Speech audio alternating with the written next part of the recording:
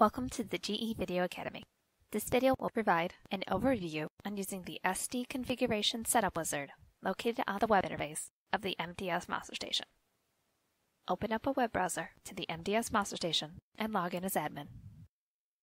This initial setup wizard will automatically start on a brand new radio. This wizard will be discussed at another time. Exit out of the wizard by pressing cancel and clicking yes on the next pop-up. Using the navigation bar on the left-hand side of the web interface, click on Wizards. Under the Wizards tab, locate the SD setup and then click on it. Once ready to configure the SD radio, click the Next button on the Overview page. First, the user must choose from one of the three available radio modes, X710, Transparent, or Packet with MAC. Click the Next button to continue on to the Regulatory section. These items may be limited to the type of radio ordered and the regulatory restrictions. Refer to the proper documentation when configuring these items. On the next page, the modem selection at this point is dependent on the selection made in the previous page. Choose from one of the available modems listed and then click the Next button. The RF output power parameter controls the power level at which the transceiver outputs. Update the power level or just click the Next button.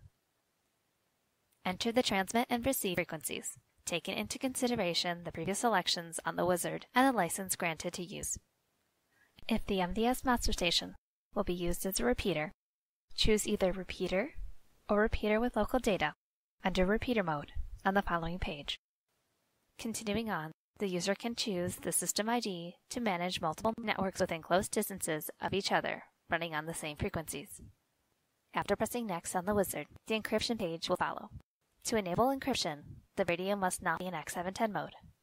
Check on the box to enable over-the-air encryption, and then enter the payload encryption phrase.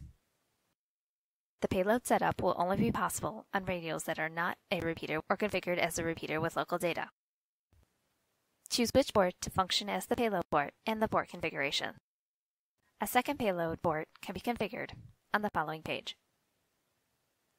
When the radio mode is set to packet with MAC, the user will have to configure the MAC settings as either an access point or remote. If the radio is set as an access point, the user can choose additional fields to describe the network.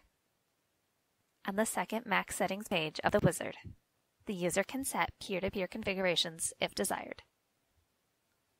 By default, D-Link is disabled.